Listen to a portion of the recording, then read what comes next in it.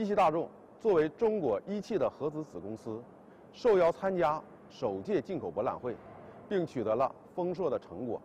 我们感到十分荣幸与欣喜。进博会是促进各行业发展的平台是我国坚定不移深化改革开放的重要标志。对一汽大众而言这更是我们制胜未来的难得机遇。